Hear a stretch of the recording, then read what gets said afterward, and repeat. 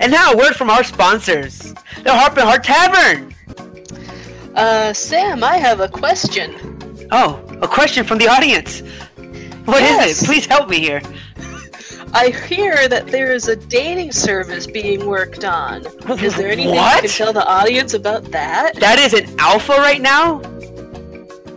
Oh, wow. Uh, you know, while we're at it here, you know, um, I'll, I'll give you a little sneak peek. It's called the D and D dating app from the Harp and Hearth Tavern. I thought it was called D and Dating. Not an actual did- app. Doing that? Not doing.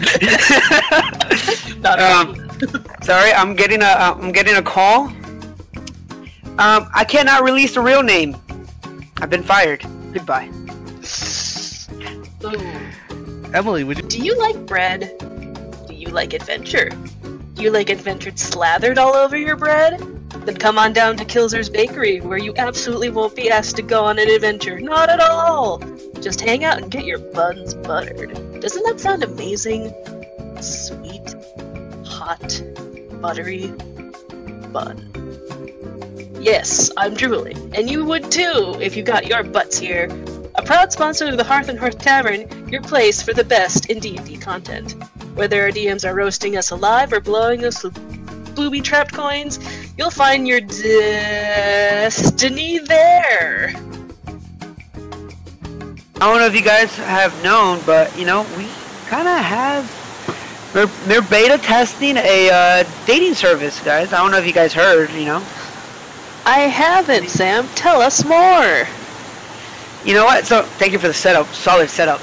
I mean, question: Do you love love? Yes.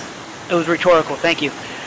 Do you, do you want those sweet, sweet romantic? so- Sorry, that. do you want those sweet, sweet romantic subtexts and subplots? They come to the Harp and Hearth Tavern, where love is in the air and mead's in the cup, among other liquids. Don't ask about the other stuff in the scar. It'll mess you up, seriously. Don't. Anyways, aside of that, we have the place for you.